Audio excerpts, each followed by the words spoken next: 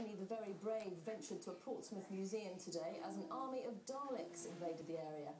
Doctor Who fans, young and old, turned up at the Royal Marines Museum to see the exhibition and enjoy meeting the iconic figures. Highlight of the day was a Dalek race and fancy dress to celebrate the show's 50th anniversary. From the point of view